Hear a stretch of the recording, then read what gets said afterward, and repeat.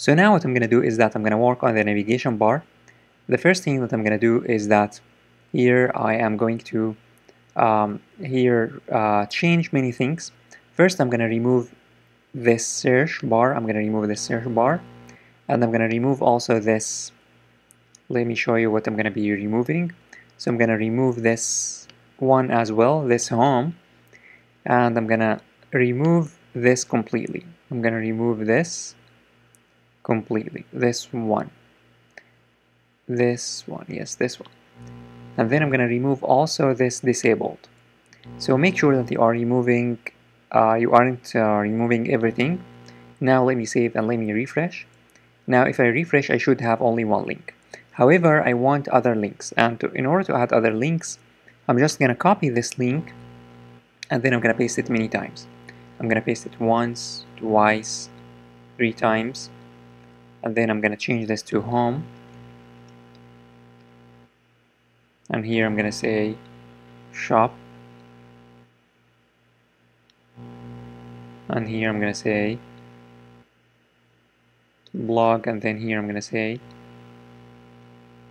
contact us.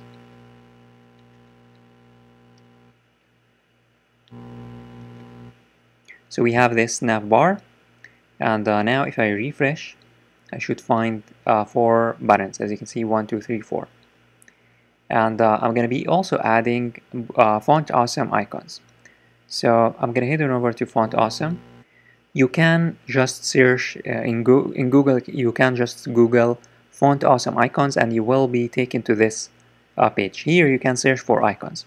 So I'm going to add two icons. So I'm going to add here an icon. So the icon that I'm going to be adding is the shopping. I'm going to say shopping here. Shopping. Let me search for shopping. So we have here so many uh, awesome icons. So you can select one of these icons. Let's, for example, use this icon. This I we have this, we have this, and we have this and uh, let me select this one shopping cart and you need to click on it and after you click on it it's gonna load this icon it's going to load and uh, as you can see here we have this. You can uh, now click on uh, this um, code. You can copy this code. You can click on it to be copied. And then in the in the navi navigation bar you need to paste it. However, you need to paste it inside li. So I'm gonna copy this and then I'm gonna paste it here below. And then instead of contact us I'm gonna copy the cart one more time and, and then I'm gonna remove it and then I'm gonna place it here instead of this contact. Let me now save and let me let me get another icon. So the other icon that I'm gonna be adding is the account. Let me add here. I'm gonna say account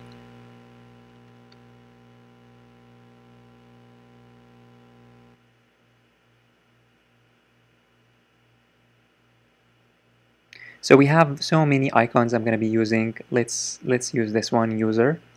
I'm going to click on it. And then I'm going to copy the uh, HTML code. As you can see, this is the HTML code. You need to click on it. And then let me go back to the uh, project and then in the project I'm gonna paste it but again we need to surround this with with this uh, li so I'm gonna copy the li and then I'm gonna paste it here. And then I'm gonna copy the uh, font awesome link. And then I'm gonna paste it here. And uh, now let me test this in the browser. So let me save everything click on file and then save all. And let me head on over to the browser. Now in the browser, if I refresh, as you can see, we have two icons. We have this icon and this icon. And of course, we need to work on the design to make this look amazing.